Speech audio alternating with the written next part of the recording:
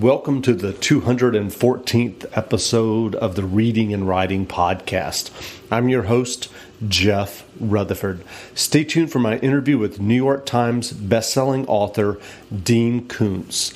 Dean Koontz's latest novel, The Silent Corner, is in bookstores today. Stay tuned for the interview.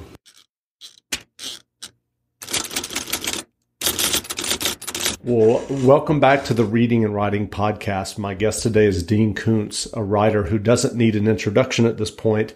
But just to recap, Koontz's books are published in 38 languages and he has sold over 450 million copies to date.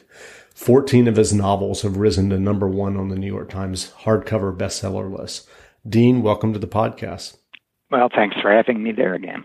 Sure. Well, you have a new novel out today, The Silent Corner. For those who are listening who haven't heard about The Silent Corner yet, how would you describe your new novel?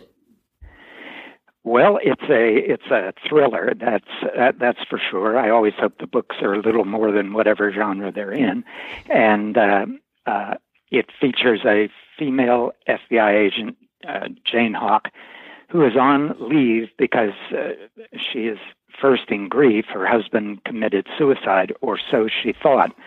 But she begins to investigate this and comes to the conclusion he was murdered. And as a consequence, she becomes an agent who has gone rogue and is the most wanted person in the United States by the end of the book. So it's it's a it's a little bit of a tech thriller. It's a little bit of a uh, a police thriller, and it's a lot of uh, about the human heart and the darkness and the light in it. Uh, that isn't a thumbnail sketch exactly, but it's about the shortest I could make it. Sure, sure. Well, you've mentioned in previous interviews the creative moment when you wrote the first pages of Odd Thomas. Do you remember the original creative impetus for Jane Hawk's character in The Silent Corner? Yeah, this book, uh, I always think I've I've been inspired in all the ways you can be inspired, and uh, I've had a Paul Simon song uh, inspire one novel, and a, a, a Mel Gibson movie inspire another one, and uh, things come at you from different ways. But this one was very different in that I wanted to write something that was um, of the moment that had a feeling of the world that we're moving into, uh, this tech world with its its ups and its downsides, and a kind of fragmenting culture uh, that we seem to be in. And this goes all the way back to a year and a half ago when I started this first one, and. Uh, I thought it might be something of a series, though I didn't know it would be more than three books. And all I knew when I started was the character. I wanted to write a female agent of the FBI who was um, different than any uh, female lead in a suspense novel I'd written before or read before. I wanted her to be uh, incredibly tough, but have this deep tenderness in her um, that uh, comes out in certain moments. And I wanted her to have this kind of real attitude, uh, but a very different kind of attitude. I started with all that kind of vague stuff, and I thought, how am I going to introduce the book? And that was another thing that was unusual. I decided to start introducing her not as you might normally, not start out telling you who she was and that she was an FBI agent gone on leave or anything. Just start with her on the road in a motel room when she wakes up. And then in a series of little chapters, short scenes, pay pay out tiny bits of information about her. At the same time, you're creating more mysteries. And I had no idea where this was going, Jeff. I was in a little bit of a panic for a while, but I think I got about 15 or 20 pages into the manuscript, and I thought, ah, I know where I know what the central threat is going to be. Uh, it's going what sort of it's going to have a sort of what I would call Crichton-esque element to it, of, of the current technology that has a potential dark side, and uh, uh, so she kind of grew chapter by chapter, and I got to about seven chapters, and I was looking at it and said, you know what? I think there's maybe way more than three novels with this character because in the first 15 or 20 pages, she had developed such depth. And by the end of the book, she had become probably the, the favorite character I've ever written about. And the next thing I knew, I was right into the next one, and I've done three, and I'm halfway through the fourth. uh, she's really swept me away, so I've had a great deal of fun with her. Well, that leads right into my next question because I, I know that the second Jane Hawk novel, The Whispering Room, has already been announced and will, will be published in January 2018, a little over six months from now. So, as of today, uh, what are the plans for Jane Hawk? Do you know how many novels at this point? Uh, you know, I had to sit down. We uh, we sold uh, the books uh, to Paramount TV and a production company called Anonymous Content, and they were sold back in the end of last year, so uh, long before publication date. And at some point, they came to me and said, "Well, we know the first two books, and you're almost done with the third, but where does this go? Uh, what happens with all this?" is do you have an endpoint to this first story with Jane? Now, each of these is essentially meant to be a standalone book, but then there is an overriding arc of stories um, also. And I said at first, taking a little affront at this, I said, I don't write outlines and I don't. Uh, I never know where a book's going when I start, but I said there there will be a conclusion. Well, that isn't good enough because we've got an interested showrunner and we need to see the the arc of this. And I said, well, in the first um, adventure of Jane's, I see it as being about seven books. So I had to sit down, which I have not done before, and create for them a rough outline of where these seven books went, book by book, and where the last one would end with the resolution to this uh, conspiracy that uh, takes her on this long journey in the uh, initial introduction to the series. And so I know where it's all going now, uh, except I also know me. And it's entirely possible by the time I start the next book, it'll be going somewhere different than I told them. But there is a resolution to how all of this can be solved and the world saved in the course of it. So, so we may, so what you're saying is we may end up with a Game of Thrones situation where the TV show diverges from the books you know, you always have to, you, you just have to have that open in your mind that that could happen. As long as they are uh, uh, intelligent enough to, to do the right things with it, then that's all right. Now, I will say they, uh, I, I said I don't want to be terrifically involved in this. I want to just keep writing these books. But I gave them a list of things that can't happen with Jane and that was all accepted as part of the beginning of this. So, um, and I won't tell you what those are because that's. but there's just certain things I said. Wherever you go with it, that's different. Eventually, where I end up, um, you can't do this, this, and this to her. I think there were three different things, maybe four. So we'll have to come back and talk about that at some later date. so, is, is there anything that you can say yet about the TV project that you just mentioned? Not too much, except that uh, they they optioned all the books, not even knowing how many there'll be, and uh, uh, it's a, a lot of smart people who've made edgy but stylish stuff, and uh, so I'm I'm kind of confident I won't fall, fall into the wrong hands here. Uh, uh, but you know, I haven't had great luck with the film medium in the past, so this is so far looking like it'll be a change for the positive. That's great. Well, um, to to shift gears a little bit, so so you've discussed in many interviews uh, your childhood, uh, specifically your childhood with an alcoholic and abusive father, and I'm curious, do you think that your writing and creativity over the years helped you deal with kind of the aftermath of, of that childhood and living with that as an adult? Um, I would say absolutely. In fact, I've said uh, sometimes that, um, in spite of my father, who, for those who don't know, was a violent alcoholic who held 44 jobs in 34 years, with periods of unemployment scattered throughout, and he lost some jobs because he punched the boss and you don't hold on to your job or certainly don't get a promotion that way. And uh so and we were very poor and never knew if we had a roof over our head the next day. And uh but i i have said in a, in a strange way he gave me my career because uh, growing up, I knew everything you shouldn't do uh, well, if you wanted to have any way degree of successful life. And it also drove me to books as an escape.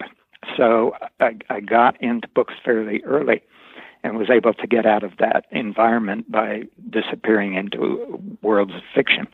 So in that sense, it certainly helped me. And one of the things I said when giving notes to the television people on this uh, on these seven books was uh, uh, what some of the themes of this are, and one of them is the role of dysfunctional families in some of the worst things in our society.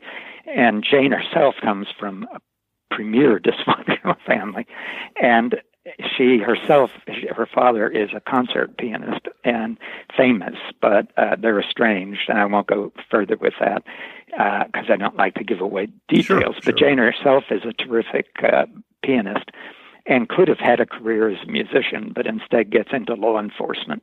And that really is sort of, she's driven to that by what the dysfunctional events in her family were. And uh, so she is driven into law enforcement, where I am driven into the creative.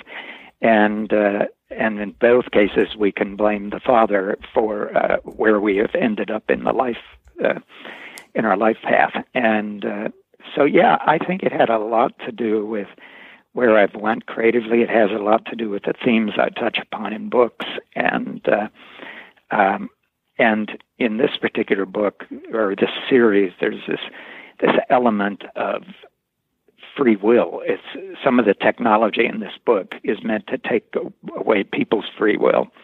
And uh, I, again won't go too much further, but when you're living in an impressive environment, where as a child you have no power, uh, you you feel that your something's being stolen from you, uh, your your freedom and so forth. So that's a theme of the, this series too, and uh, uh, I I can say that comes out of my childhood and cathartic. Uh, yeah, I uh, I suppose it is.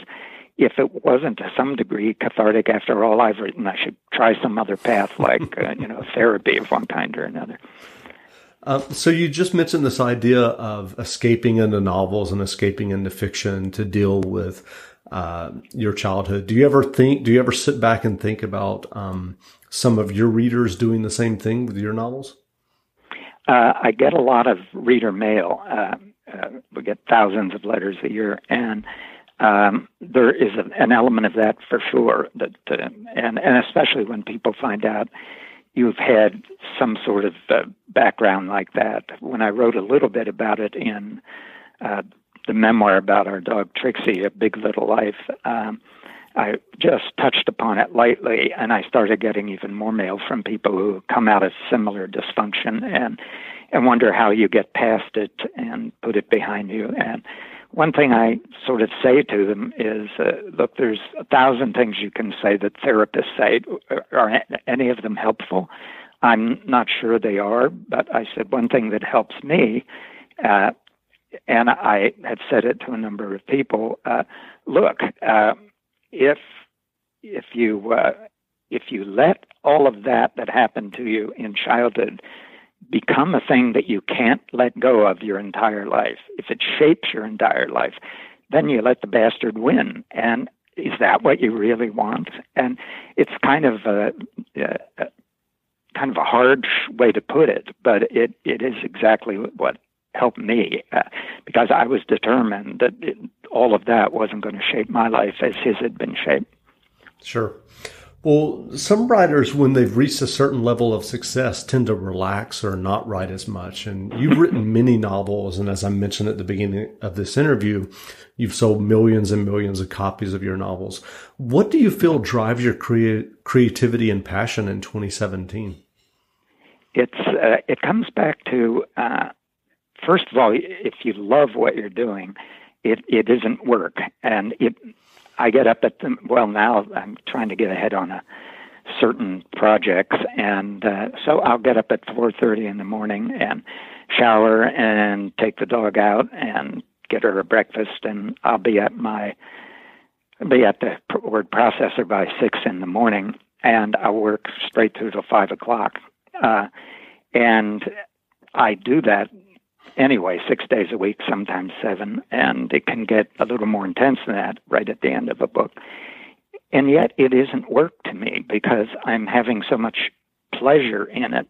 And that pleasure comes out of all these years of challenging yourself. Uh, now, one of the things that I've always had trouble with publishers is I have not always done the same book twice in a row. I I will move to different genres. I'll, I'll blend genres in different ways. And publishers, if something works, they want you to stay with it and do the same thing over and over and over. I've never been comfortable with that. Um, and as a consequence, however, I've I've fallen in love with storytelling, I think, in a different way than I would have if I had done the same thing over and over. I've written so many different types of books, uh, and each one is a challenge. And if you meet the challenge with some level of success, now whether the reader or the critics think so is another issue, but if you feel comfortable, you've reached a certain level, then that motivates you to keep trying new things. And you get to my age or my point in life, and you're writing for entirely different reasons. You're writing now for the love of the writing and I write for the love of the language. The English language is absolutely beautiful and offers so many possible stylistic opportunities that um, I'm never uh, never going to be able to experiment and use all of them. So that's what keeps me going. Just sort of the fun of sitting here and a and a scene goes really well. There's a scene in Whispering Room. I won't say what it involves, but it comes late in the book, and it's a terrifying sequence with Jane where she's going after this billionaire who lives at the top of this building, and the floors on both sides of the floor he lives on, uh, the floor above him and the floor below, are complete security floors. And there's something on one of those floors that she has to go through. And it's when I got to it, I thought, uh, when the idea hit me for what she was going to have to face there, I thought, now, is this jumping the shark? Is this so far over the top. And I looked at it and thought about it, and I thought if you bring to it a certain style in the telling of it, a certain uh, very richness of imagery and so forth, it'll work. And I wrote it, and it's the scene in the novel that everybody in my publishing life is reacting to the strongest. Uh, so that's the kind of satisfaction you get. Uh, after you've been at it this long. And it's the fun of seeing if you can pull it off. Great. Well, given your years of writing fiction, is there any core advice that you would offer someone who is trying to write their own short stories or novels? Um, you, I, I say, and I think it's it's true in all times and places that uh, too many people, when they think about launching a writing career, look around and say, "What's very hot right now?" Uh, and for many years, it was vampire novels. So everybody rushes off to do a vampire novel, thinking, "With that, I'll have the easiest shot of getting in." Except at, there comes a time when nobody wants any more vampire novels, and if you've written twelve of them at that point, they say, "Oh, that's the writer of vampire novels," and they're they're not interested in you anymore, even if you've moved on to do something else. So I always sort of say, don't scope the market. Don't try to say what do they want, and I'll write that, and that will make it easier to market. Just do what you're passionate about, and the passion will come through.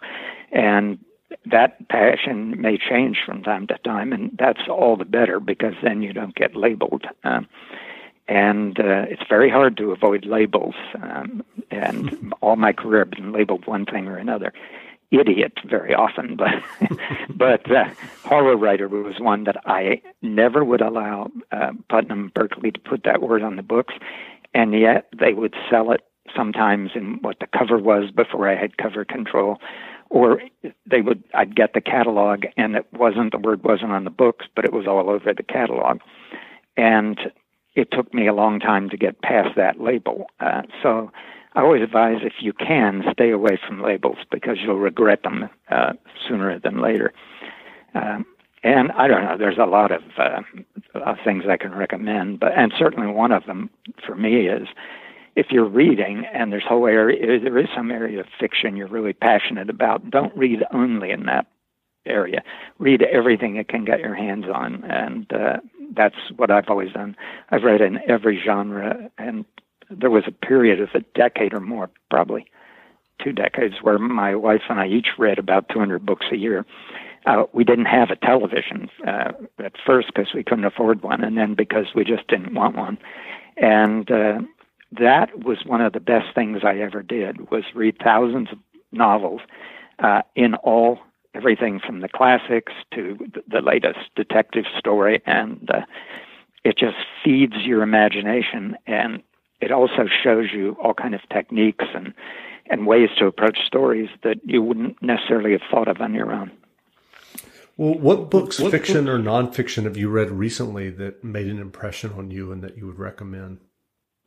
I, I read. I'm reading a lot of nonfiction for this series as research. Uh, the Jane Hawk books are the most research I've ever had to do, and I'm always doing research for any book because I just hate getting a letter by somebody in a specialty saying, "Yeah, well, the book was great, but you really screwed up this detail." So I always want the research to be right. But the, this Jane Hawk, she's living off the grid on the run from every law enforcement agency in the country. And that's what the title The Silent Corner refers to, that people who can who can exist, move largely freely about and use the internet without being uh, cornered or tracked through it um, are in the silent corner where Jane is. And uh, so I read an enormous amount of research on all of that, which is fun in its own way. But I read a nonfiction book not too long ago by Paul Johnson, the British historian, uh, called Intellectuals, and it starts with Rousseau and goes to Hemingway, and it's about I think 14 or 15 uh, intellectuals uh, who had some profound effect on society, and he tells you what their private lives were like, and it's hilarious, but it's also terrifying uh, because most of these were the messiest private lives, and many of these people were absolute monsters. His point in writing this book is uh, self-appointed intellectuals, which is basically the only kind there is there are.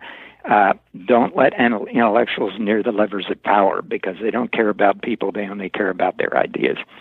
And that book uh, was just fascinating. Uh, and that's unfortunately my pleasure reading time for fiction now is two weeks at Christmas. So I'm I'm hoping to change that, but uh, right now I I, uh, I haven't gotten there. Sure. Well, we're drawing to a close with this interview, but as a longtime reader, I don't think I can let you get away without asking any hope of a final Christopher Snow book. so, are, yes. are you, would you be willing to let James Patterson write it at this point? I I don't. Uh, I have part of that book done, uh, and I did say I did reveal recently a little bit of why what happened there when I first came to Bantam. Uh, I had moved from Putnam to Knopf, and there was just there were a few things at Knopf that were not happy making for me, and uh, so then I went to Bantam, and I, the first book I did at Bantam was Fear Nothing, and the second was Seize the Night, the first two Chris Snow.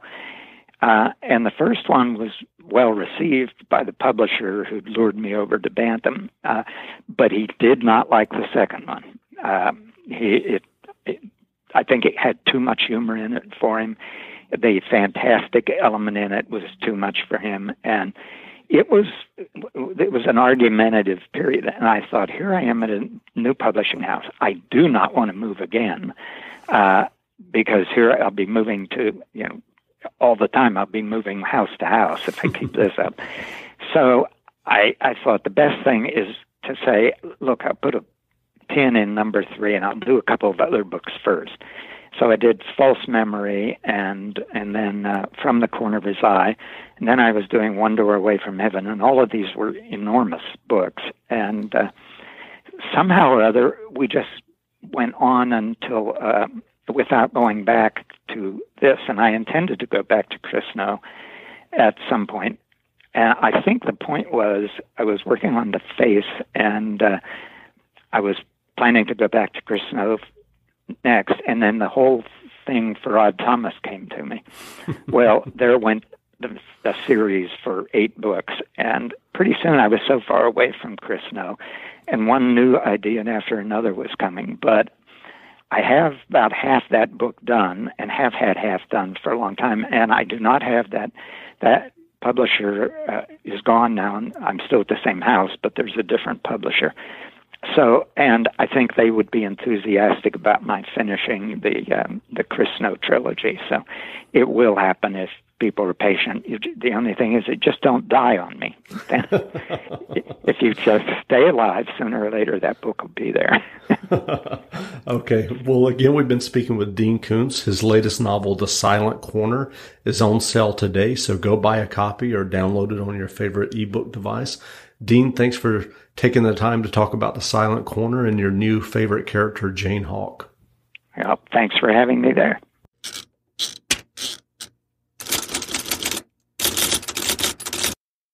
Parent, volunteer, employee. With your different roles and busy schedule, how can you find time to complete the degree you once started? Cornerstone University's programs are designed for busy adults like you. Take one course at a time, back to back, to move through your degree quickly. Attend through an on campus, live stream, or 100% online format, whichever works best for you. If you're ready to go further in your goals, we're here to make it possible. Achieve without ceasing. Learn more at adult.cornerstone.edu.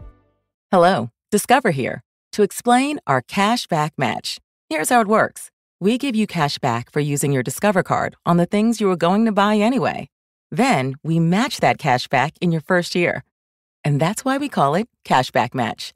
Now to recap and say cashback one more time. We match all the cashback you've earned at the end of your first year automatically. Discover. Exceptionally common sense. Learn more at discover.com/match. Limitations apply.